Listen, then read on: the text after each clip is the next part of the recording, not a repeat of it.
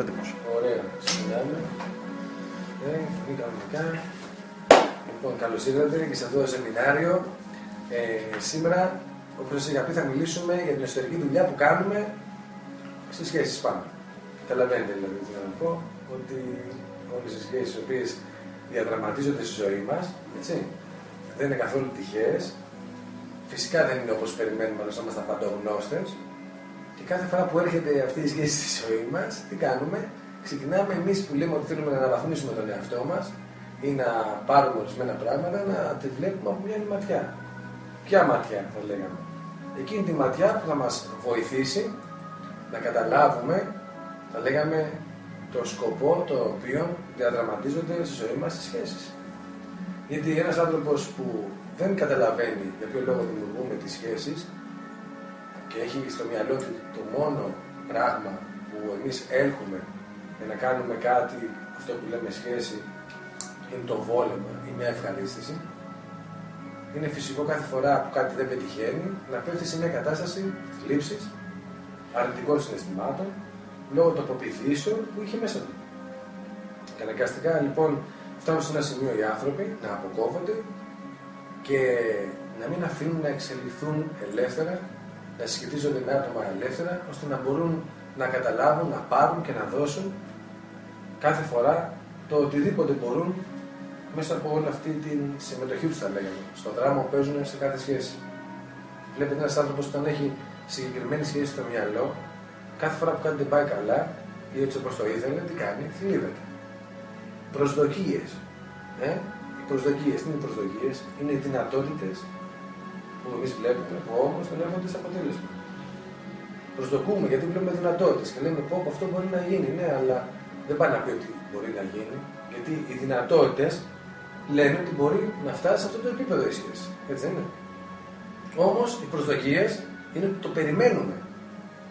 Και εκεί είναι όλη η διαφορά. Δεν έχουμε μάθει να αποδεχόμαστε την ώρα εκείνη που δεν έρχεται αυτή η δυνατότητα. Έστω.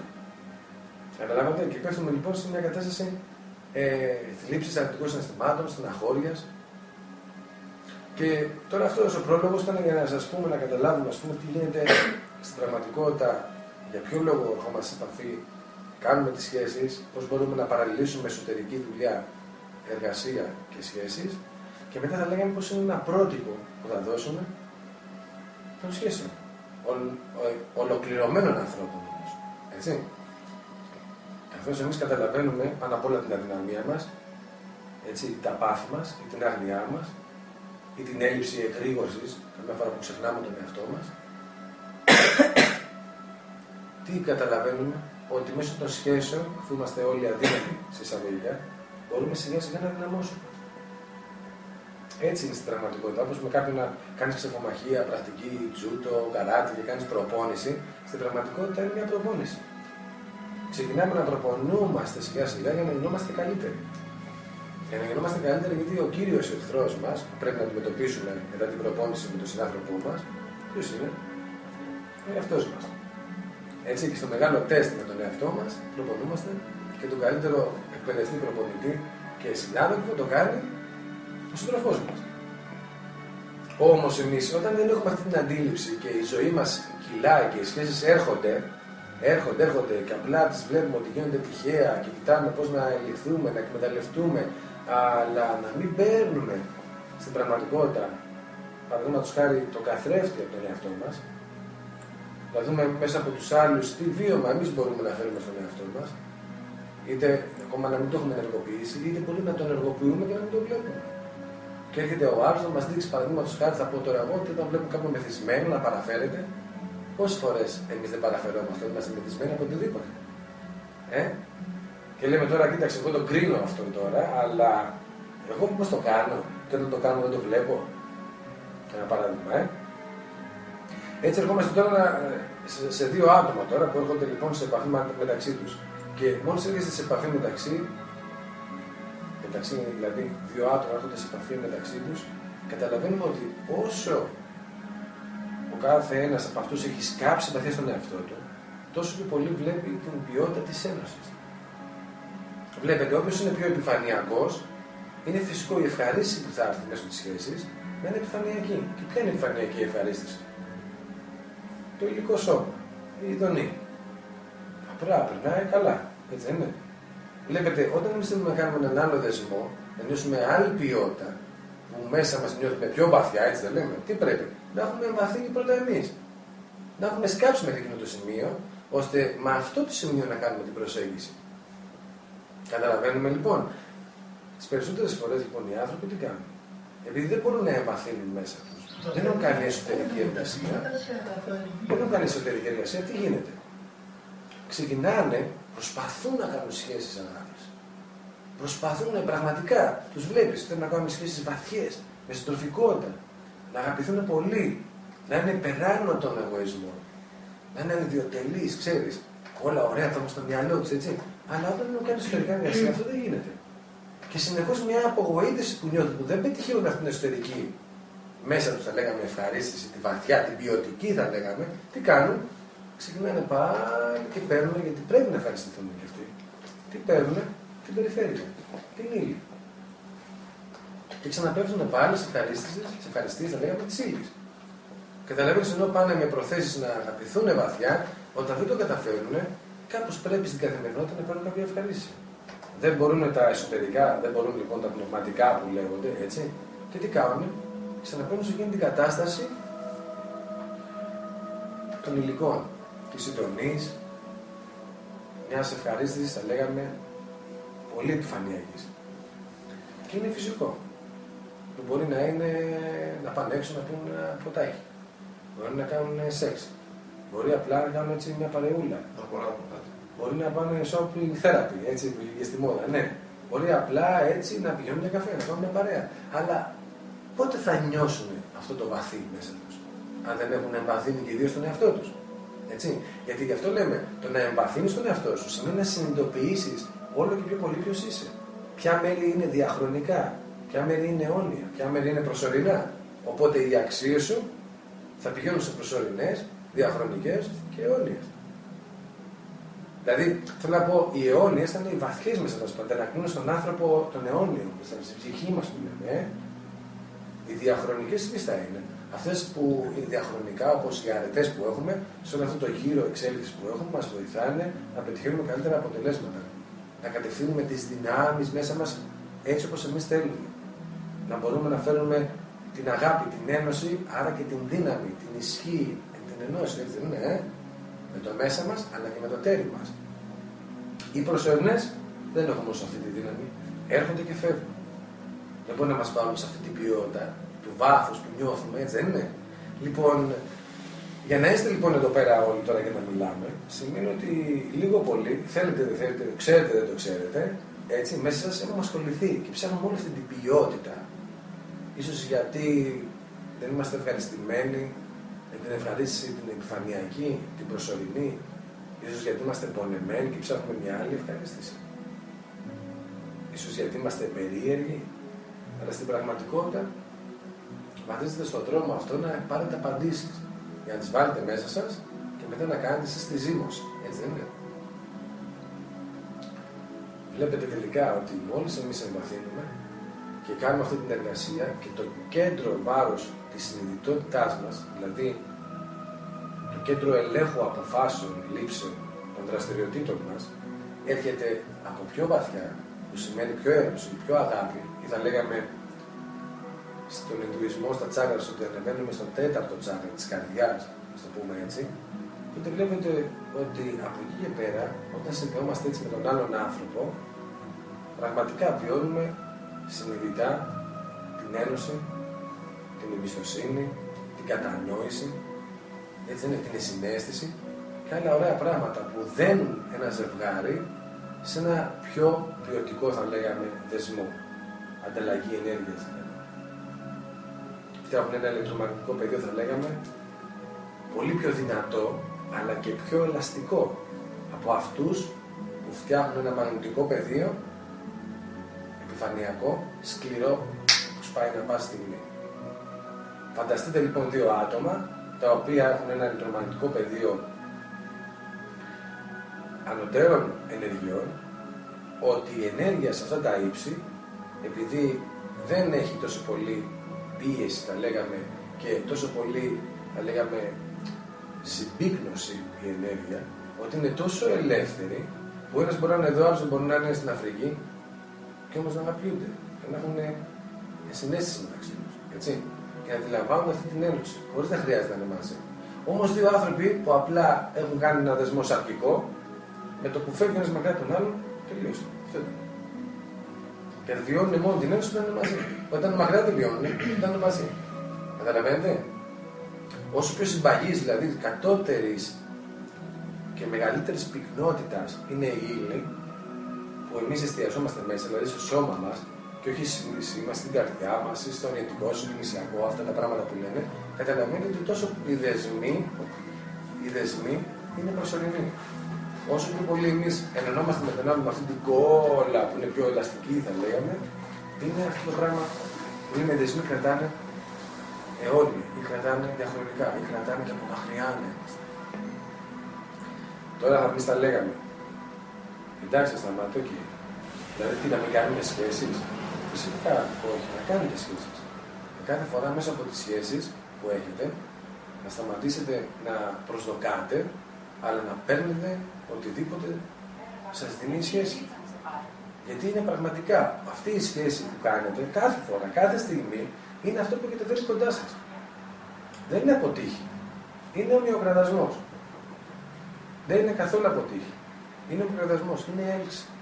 Και από τη στιγμή που κάτι έρθει κοντά σας, με όποιον τρόπο και αν έχει έρθει κοντά σας, χωρίς εμείς να χρειάζεται να το καλουπώσουμε, να το πάμε ίσως σεξ, ή στο νοητικό, ή στο συγκινησιακό, ή να προβάλλουμε πάνω σχέδια και να το κάνει, σας λέω ότι δεν τρέχει τίποτα. Είναι φυσικό να κάνουμε σχέδια έτσι. Ε, ναι. Αλλά αφήστε το να κυλήσει στο ριάκι το οποίο θα έρθει και θα κάψουν και τα δύο σε μια ισορροπία εκεί που πρέπει.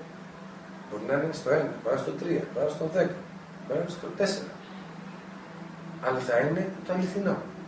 Γιατί αν εμείς την κάνουμε τη σχέση που είναι στο 15 και έχουμε προσδοκίες 15 και αυτό σταματάει στο 3, θα είμαστε κουτί εμείς.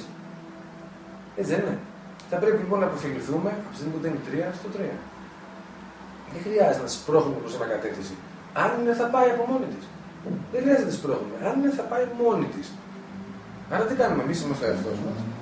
Ο άλλος είναι ο εαυτός του. Τον βοηθάμε ο ένας τον άλλο να είναι ο εαυτός. Έτσι δεν είναι. Και αυτό με τα ίδια η σχέση πηγαίνει και όσο αφινόμαστε τόσο θα σε εκείνη την κατάσταση της ισορροπίας όπου θα είναι πιο επικοδομητική για τους δύο. Όποιος όμως δεν το δέχεται αυτό, είναι σαν να μην δέχεται ότι αυτό είναι το πιο επικοδομητικό για τους δύο. Και να θέλει όχι πιο σοβαρά, ή πιο ελαφριά, ή πιο ανοιχτά, ή πιο κλειστά, ή πιο μαζί, ή πιο χώρια. Τι πρέπει να κάνουμε λοιπόν, πρέπει να αφήνουμε πίσω μας, τα λέγαμε σε εισαγωγικά, ξέρεις τις προσδοκίες και να αφινόμαστε αφινόμαστε, αλλά να προσπαθούμε να είμαστε και αληθινοί. Να προσπαθούμε να είμαστε αληθινοί. Καταλαβαίνετε. Λέω, δεν προσπαθείς να είσαι αληθινός. Καταλαβαίνετε. Όλο το κόλπο είναι δεν αφήνουμε τον εαυτό μας. Δεν είναι αληθινός. Γιατί φοβόμαστε. Πώς θα το πάρει ο άλλος. Ε, πώς θα παρεξηγηθεί. Πώς, πώς, πώς, πώς γίνονται πράγματα. Άρα μέσα μας τι πρέπει λοιπόν να ξεκινήσουμε να είμαστε ειλικρινείς πρώτα με τον εαυτό μας. Για να έχουμε μια ειλικρινή σχέση με τον άλλο. Ε; Άμα εμείς κρύβουμε πράγματα από τον εαυτό μας, δεν θα κρύψουμε από τον άλλο. Έτσι δεν είναι. Άρα η αποδοχή έρχεται σε όλα τα επίπεδα.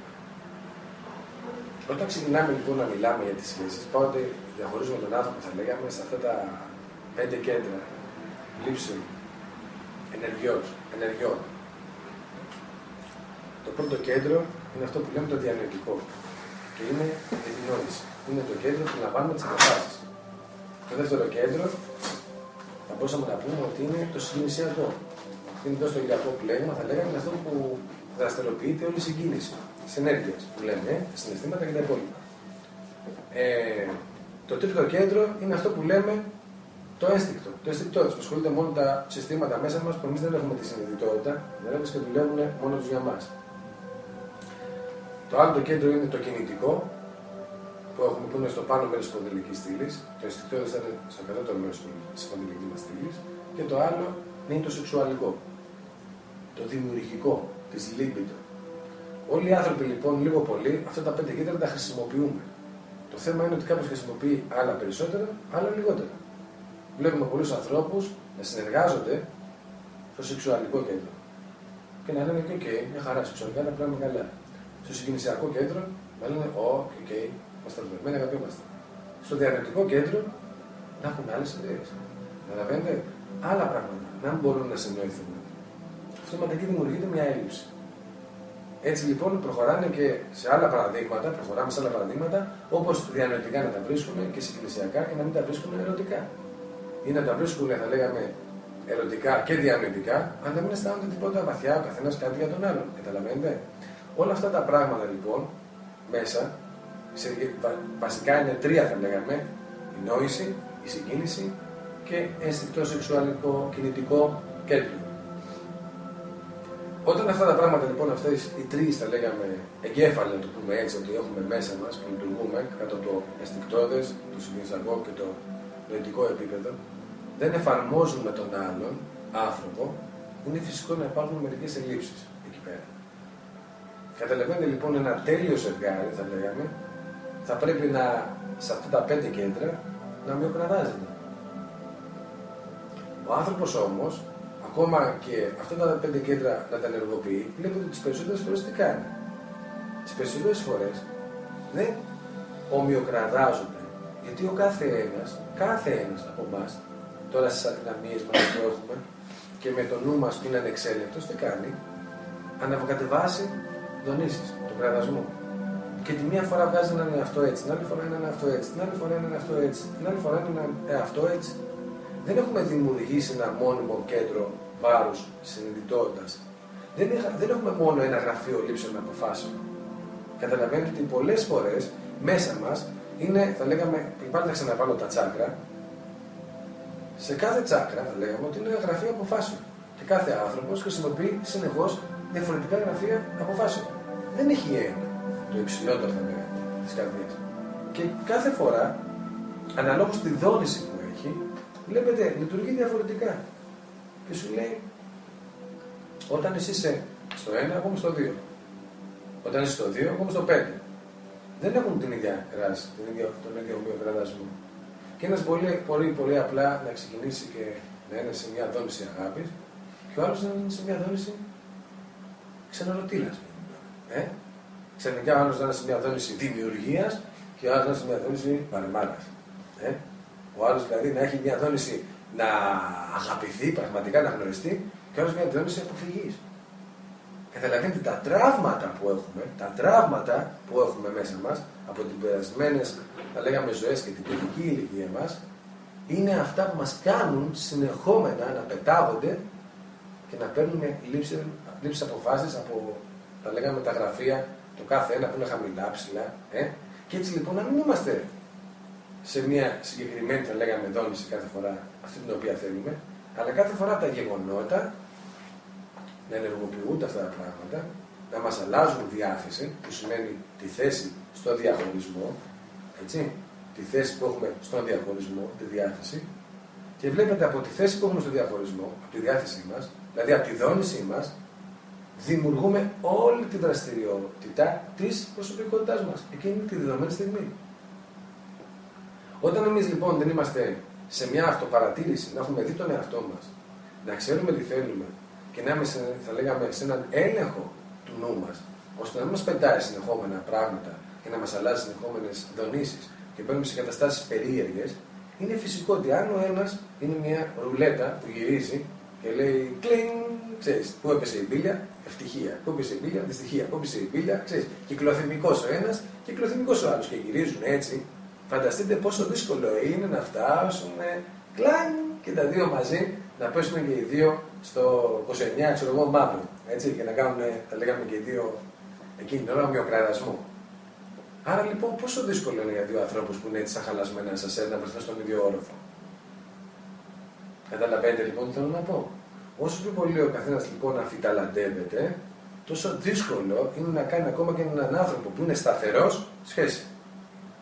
Το καταλαβαίνουμε αυτό; Γιατί αυτός που είναι σταθερός και αυτό που κουνιέται, τι θα φαίνεται; Ότι κουνιέται. Δηλαδή, το καταλαβαίνεις, δεν είναι, δεν είναι στραβός δηλαδή. Όχι αλλιώς. Καταλαβαίνουμε, εμείς στραβαρμενίζουμε. Και κάθε φορά εμείς μέσα στον εγωισμό μας, επειδή δεν έχουμε την αθλητικότητα, την ουδετερότητα, να δούμε εμείς πότε ανυποκατεβαίνουμε, νομίζουμε ότι το άλλος κουνιέται. Νομίζουμε ότι ο άλλος μας κάνει επίθεση. Νομίζουμε ότι ο άλλος μας κάνει ψέματα. Νομίζουμε ότι ο άλλος δείξει και το ωραία. Νομίζουμε, νομίζουμε, νομίζουμε. Γι' αυτό λοιπόν προβάλλουμε τον εαυτό μας, επειδή δεν μπορούμε να έχουμε την αυτοπαρατήρηση στον άλλο. Και έτσι λοιπόν κάθε φορά που κάνουμε σχέσεις, μας φαίνεται στην πραγματικότητα ότι έλκουμε τα αντίθετα. Ότι έλκουμε τα αντίθετα. Και τις περισσότερες φορές έτσι σημαίνει όπως το καταλαβαίνει ένας απλός άνθρωπος. Και έτσι πρέπει να σημαίνει. Γιατί είναι η ίδια ενέργεια απολωμένη σε δύο διαφορετικά μέρη για να κάνει την έλξη. Και μας φαίνεται ότι έλκουμε τα αντίθετα. Και συνεχόμενα βλέπουμε τον άλλον να είναι κάτι που εμείς δεν είμαστε. Όμως είναι αυτό που είμαστε. Και συνεχόμενα προβάλλουμε στον άλλον τον εαυτό μας εκείνα που εμείς δεν μπορούμε να δούμε και τα βλέπουμε στον άλλον. Και έτσι αυτή είναι η πρώτη, η πρώτη θα λέγαμε έκφραση αναγνώριση του εαυτού μας. Στον καθρέφτη. Που όποιος όμως δεν ξέρει ότι οι δικές μας προβολές πάνω στο τροφό μας είναι ο εαυτός μας και όχι μόνο στο τροφό μας, σε όλες τις σχέσεις. Καταλαβαίνετε ότι εκείνη την ώρα θα νιώθει παραπονεμένος, αδικημένος, δεν θα του κάνει κανένας. Όλοι έρχονται για να του κάνουν τη ζωή μίζερη, δεν αξίζει εκείνος, δεν αξίζουν οι άλλοι, δεν θα βρει ποτέ το τέλειο, ενώ αυτός είναι τέλειος. Το έχουμε πει αυτό το πράγμα, έτσι δεν είναι.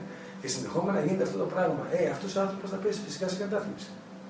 Θα αρχίσει λοιπόν να απογοητεύεται από τις σχέσεις που κάνει τριγύρω του. Και δεν είναι μόνο οι ερωτικές σχέσεις, θα είναι όλες οι σχέσεις, θα απογοητεύεται από όλες τις σχέσεις. Θα ξεκινάει να αποκόβεται από τον κόσμο, θα νιώθει ξεχωριστός, θα νιώθει ότι πάει πάνω ψηλά, χαμηλά, ότι αξίζει, δεν αξίζει. Μέσα τώρα μια απογοήτευση επειδή με κανέναν δεν θα μπορεί να μιλήσει. Έτσι δεν είναι. Αυτό θα οδηγήσει σε μια εσωστρέφεια, θα βγάλει απ' έξω έναν διευθυνισμό για να μπορεί να επικοινωνεί αφού το καταλαβαίνουν τα ζώα, θα πρέπει να βγάλει κάπως μια μάσκα να μπορεί να μιλάει με τα ζώα. Ξέρεις.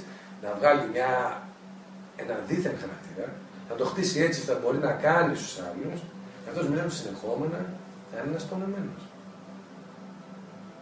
Γιατί, γιατί δυστυχώς οι πεπιθήσεις του ήταν τέτοιες αρνητικές που κάνουν τη ζωή κόλαση. Και τις σχέσεις τις σχέσεις τους κάνανε σαν να μην είναι επικοδομητικές. Μετά θα έρθει η απογοήτευση ότι πολλές φορές να αναστάει λοιπόν την ευχαρίστηση. Πού στα υλικά πράγματα. Ή στα πνευματικά. Γιατί στα υλικά θα τον δείτε να πέφτει, γιατί είναι αυτό που μπορεί να κάνει και να γιώσει, και τα πνευματικά είναι αυτό που στρέφεται μέσα του. Γυρίζει προς τα μέσα στα πνευματικά και πέρα κάνει το κουστάρι. Εκεί είναι Θεός. Βλέπετε τα δύο άκρα που έχει πάει αυτός ο άνθρωπος. Ε; Το καταλαβαίνουμε αυτό. Έτσι λοιπόν τι γίνεται. Πολλοί άνθρωποι λοιπόν στα πρώτα επίπεδα είναι όλα αυτά τα πράγματα που σας είπα προβάλλουν ακόμα τον εαυτό τους στους άλλους. Και επειδή ακόμα πηγαίνουν έτσι, έτσι, ακόμα και σταθερός να είναι ο άλλος, τον βλέπουν να γουνιέται.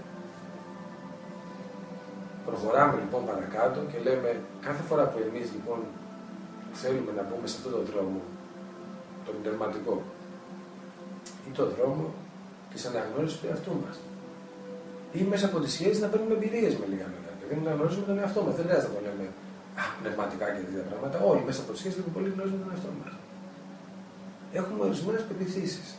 Οι πεπιθήσεις αυτές, όταν δεν αφινόμαστε στον έρωτα και μπαίνουν μπροστά, μας καταστρέφουν. Γιατί είναι κάτι ο έρωτας που βγαίνει από βαθιά μέσα μας, έτσι. Μιλάμε για πραγματικότητα, όχι μια παρόμοιση. Ένας βαθύς μαγνητισμός που βγαίνει, καταλαβέ. Και όταν έχετε εκείνη η ώρα και εμείς βάζουμε μπροστά τις πεπιθήσεις, Πάμε κόντρα στον εαυτό μας. Δολιοφθορά εναντίον του εαυτού μας. Σαμποτάρουμε τον ίδιο στον εαυτό μας.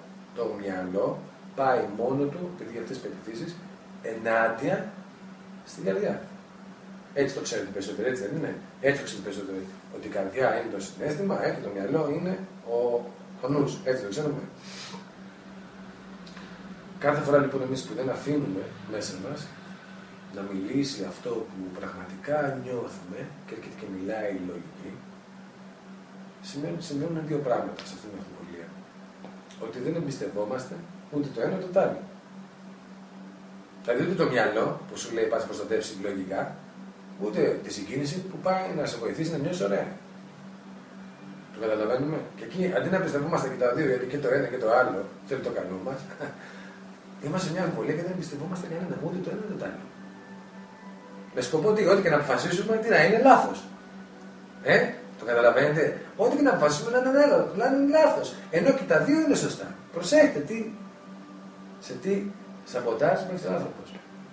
Ενώ και να αποφασίσουμε, γιατί από το μυαλό είναι λογική, και να πούμε κάτι που είσαι έτσι και έτσι και έτσι, άι, τι διασυμουστά αλλά φύγει από εδώ πέρα. Ε; Η καρδιά λέει, πω, πω, μα είναι έτσι, έτσι και έτσι, αλλά τον θέλω, ας τα συγχωρώ να ξαναπάω. Ε; Εμείς αντί να πούμε και στα δύο μπράβο, γιατί είναι κομμάτι του εαυτού μας, τι κάνουμε, τα κατηγορούμε και τα δύο.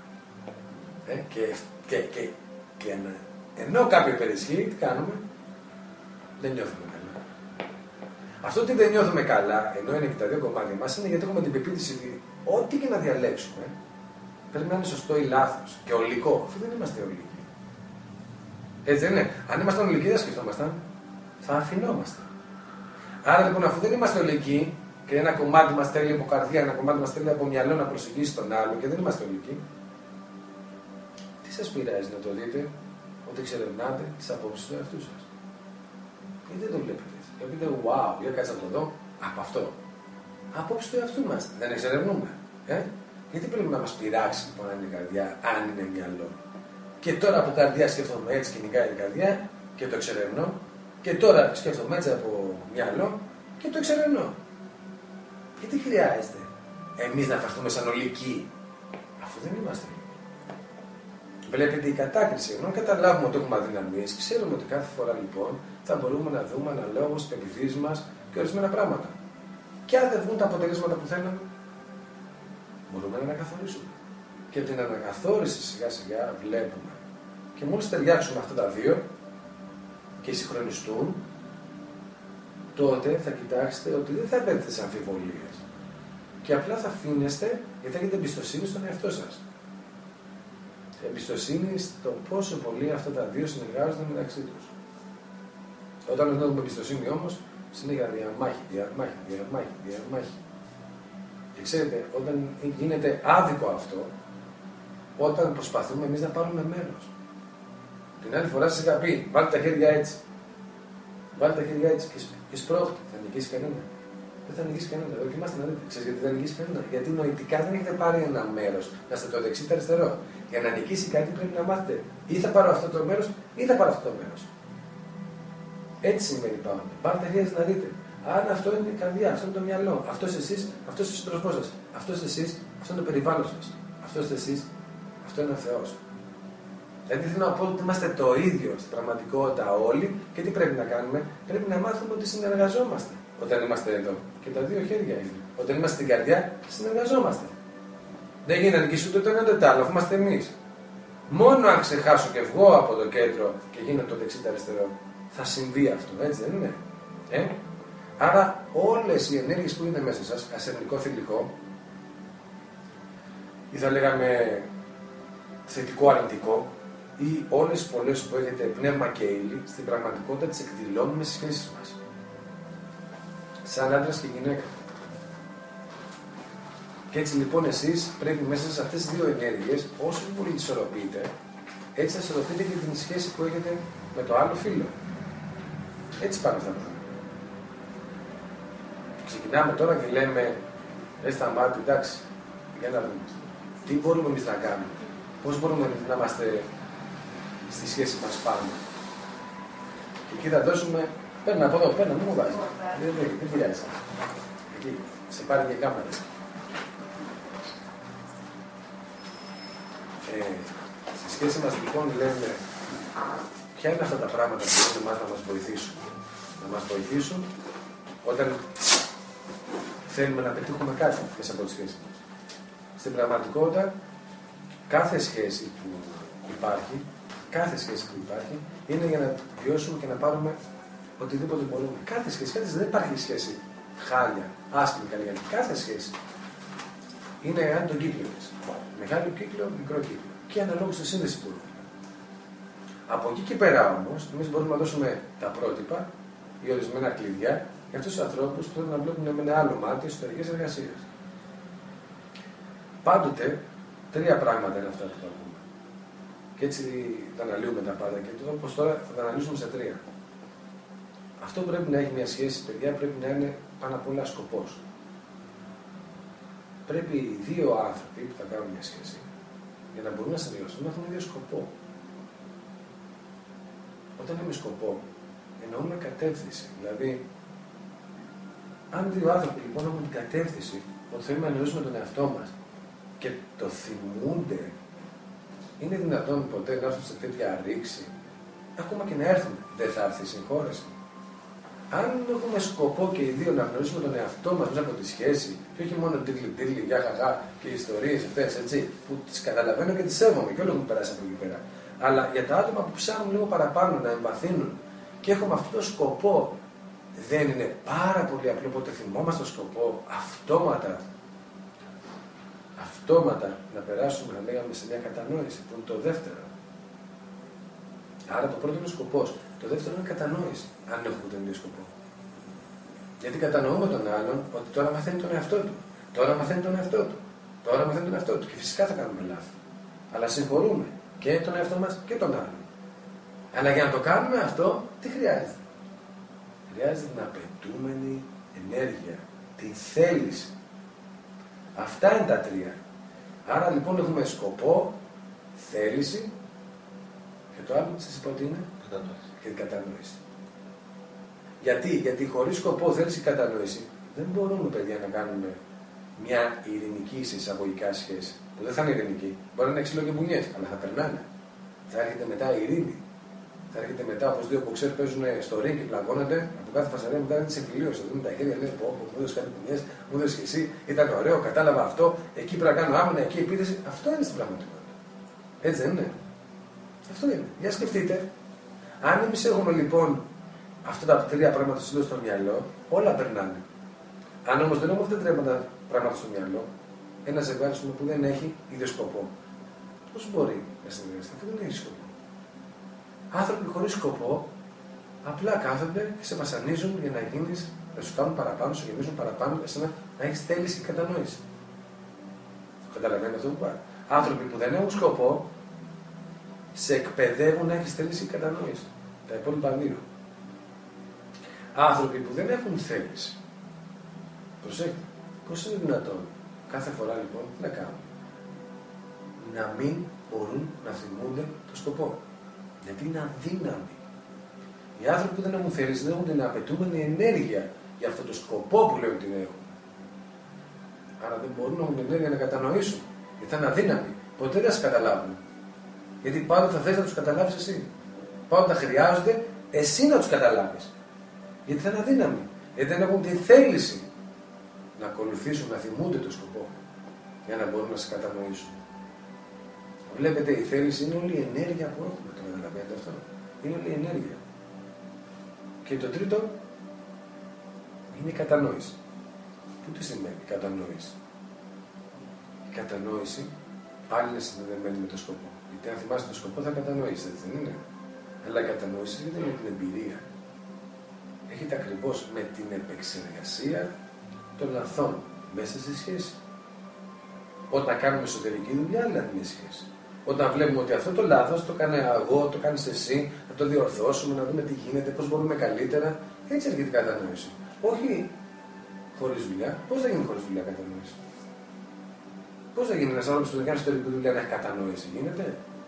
Θα λέει: Έχω σκοπό, θα έχει και τη δύναμη, αλλά τη δύναμη, τη θέληση πρέπει να την ρίξει πάνω στην εργασία. Έτσι δεν είναι. Να κάνει εσωτερική εργασία.